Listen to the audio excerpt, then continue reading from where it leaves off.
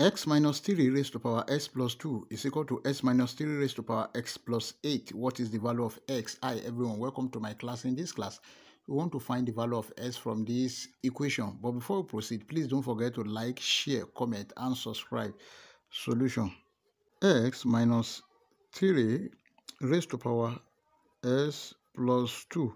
Let's bring this to this side. It become minus x minus 3 raised to power x plus 8 is equal to 0.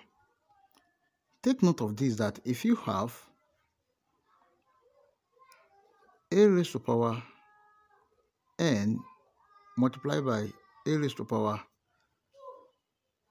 m, this is equal to a raised to power n plus m.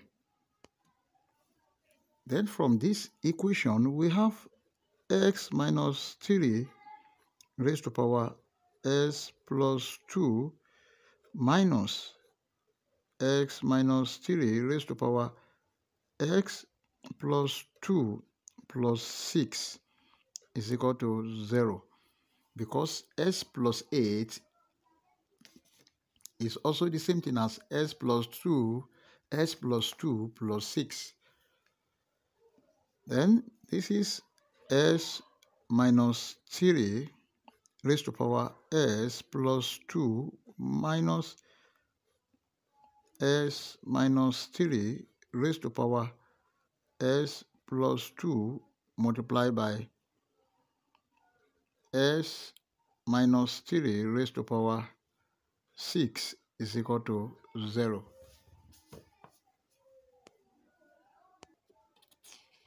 From both sides, something is common. s minus 3 raised to power s plus 2 is common. Let's bring it out.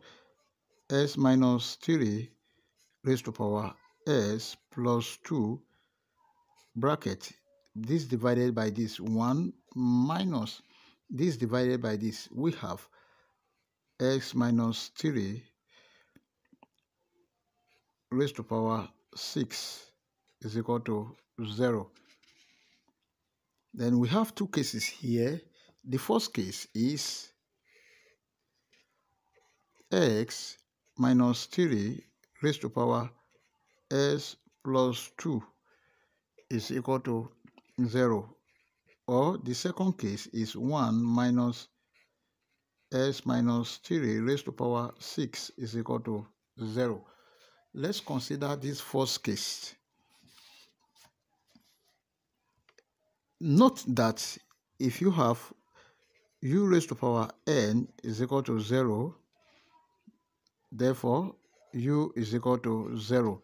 And from this equation, s minus 3 is equal to 0. s is equal to 3. Let's call this s1. And from the second case here, if you follow the same rule, x minus 3 raised to power 6 is equal to 1. Then this raised to power 6 is positive. Therefore, s minus 3 raised to power 6 is equal to 1 and minus 1. From this same rule, s minus 3 is equal to 1 or s minus 3 is equal to minus 1. Now let's consider s minus 3 is equal to 1.